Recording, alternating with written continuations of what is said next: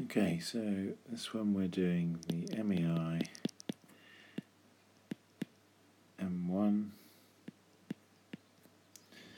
and uh, we're doing Jan 2010 um, and I've had a request well to do question 7 okay and this question is uh, slightly unusual because it starts with uh, the equation of the graph, uh, which is often where a lot of the questions end. But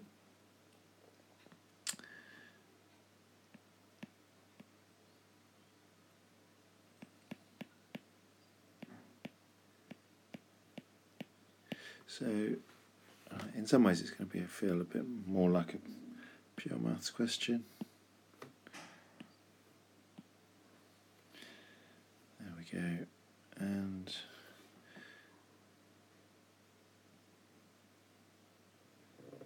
so we've got this graph here, and it's marked on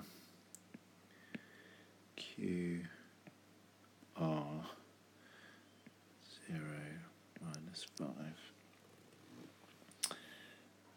Okay, and it says that this is valid.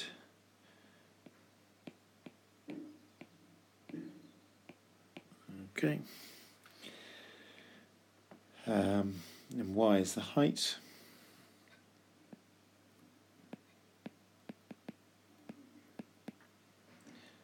And x is the horizontal distance. Um, the stone hits the ground at point R. Write down the height of Q above the ground. So, part 1 when x equals 0, y equals 1 over 100 equals 1. There we go. So at q, x is 0 and y is 1. So let's label that on. So that's 1.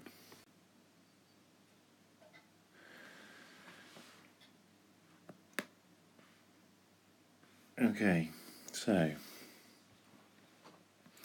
um, we're now trying to find the horizontal distance from O of the highest point of the trajectory and show that at this point is 1.5625 meters above the ground. So we're trying to find, hello, we're trying to find this point here, which we're going to call P. Um, now, I would probably use some um, pure maths here and say at P dy by dx equals 0. Um, so do some differentiation dy by dx equals 1 over 100, 0, 15 minus 2x.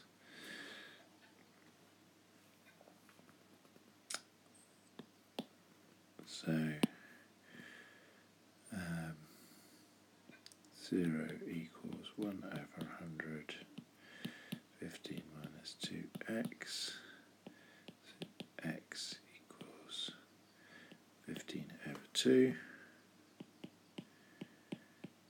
which equals 7.5.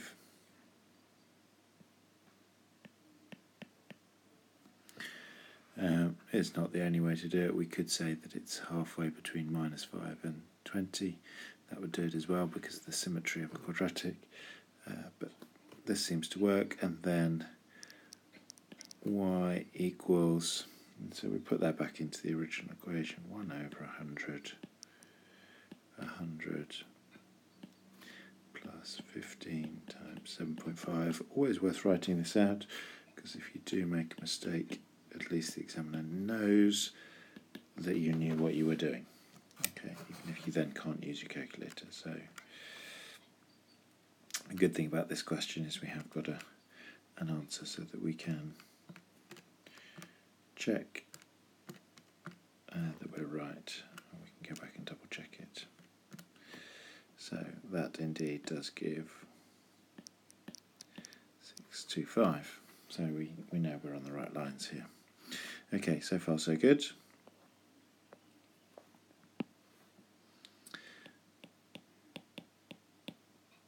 Okay, question three.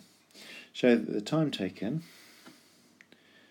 uh, for the stone to fall from its highest point to the ground is 0.565 seconds, correct to three significant figures.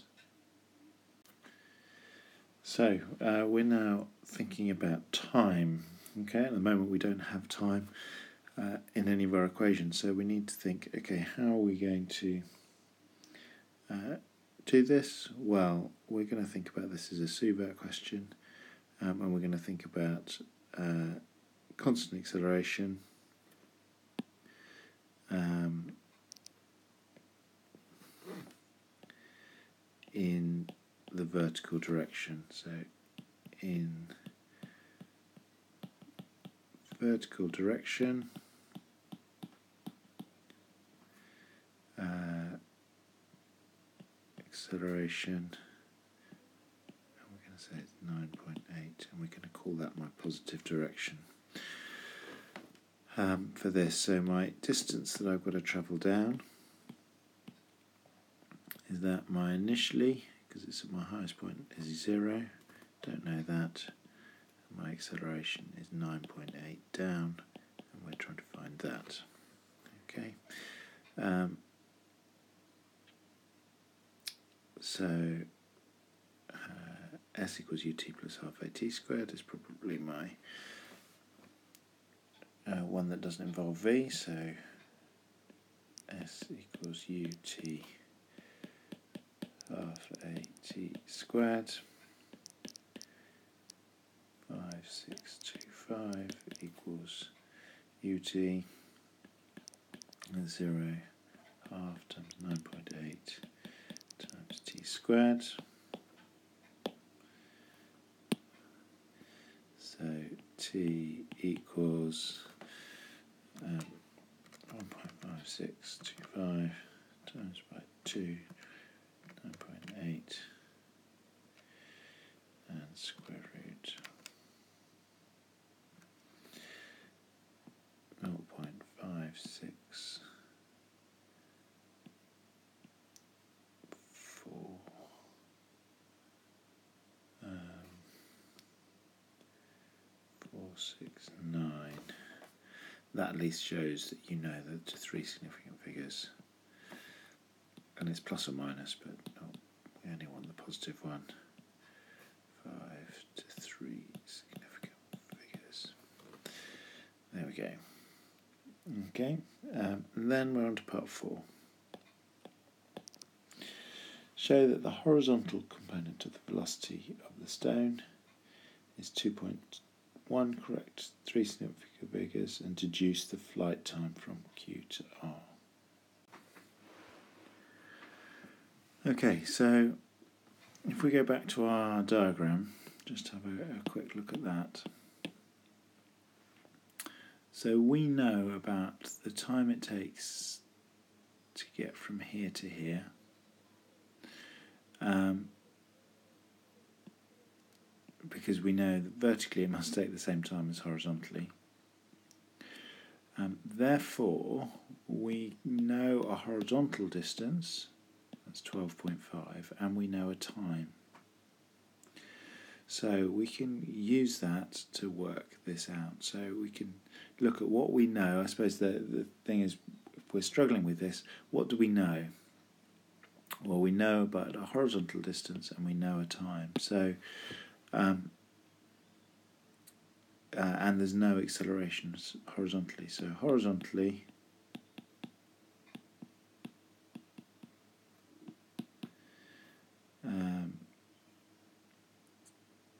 speed. So I'm going to call this uh, x dot speed horizontally equals because it's constant is the distance which is 12.5 that's my my 7.5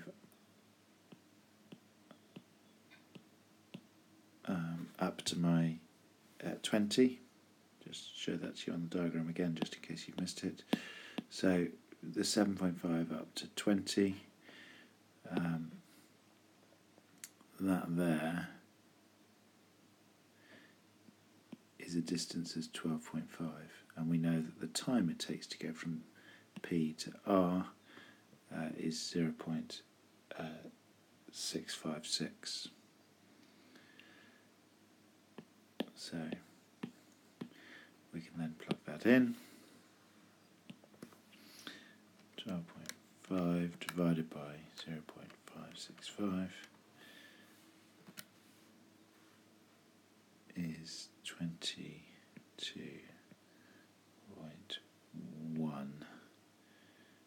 22.12. Correct three significant figures. So, which equals 22.1 meters per second to three significant figures. Um,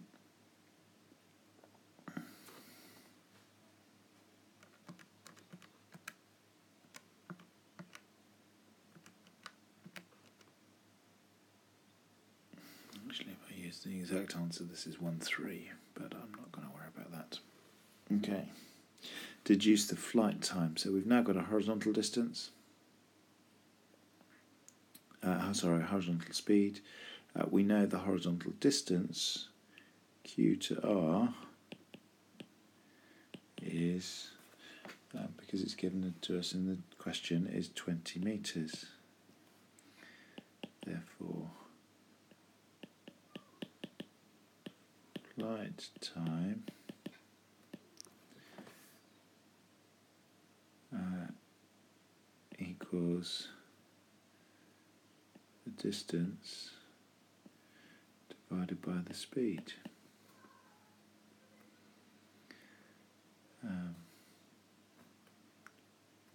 uh, speed equals uh, distance over time, so time is distance over speed, which is 20, which is 0.9035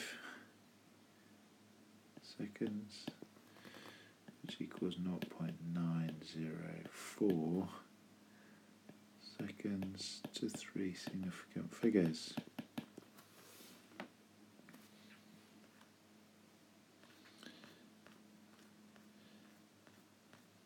And then the final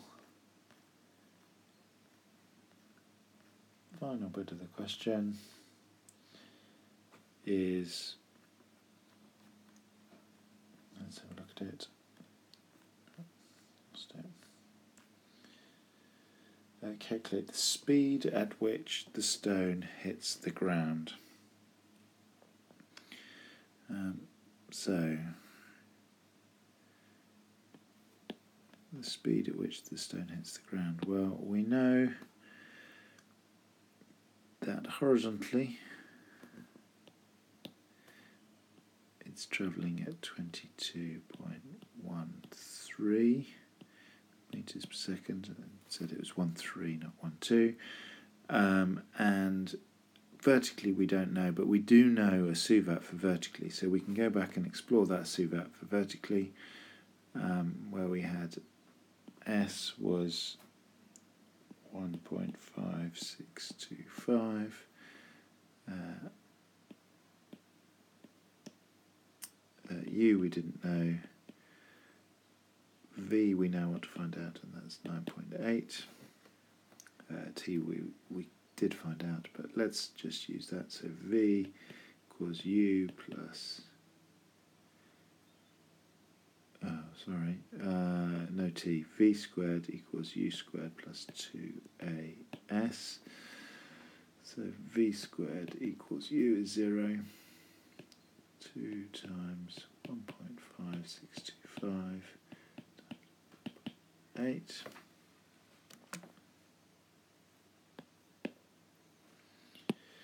So V equals 2 times 1.5625 0.5625 times 9.8. So this is using the, the SUVAT we had back in part 3. Um,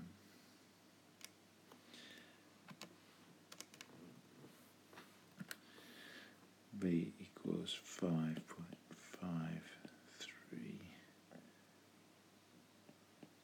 So down 5.534.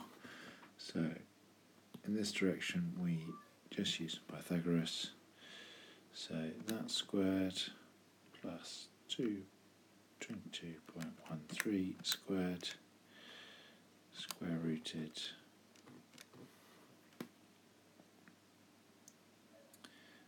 so speed equals and again write down the calculation you've done so they can see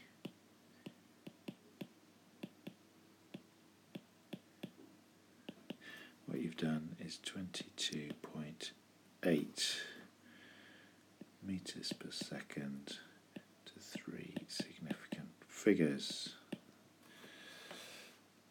Um, and there we have it. Um, so I think the difficult bit of that was about changing, going into a time equation and realizing that you did, you could still use acceleration. Um, back in part three, and then you've got Suvat, and then you can consider all the things that you know about Suvat for the remaining bits, and spotting that you had that horizontal distance in the in the part four. Uh, I hope you now understand that question.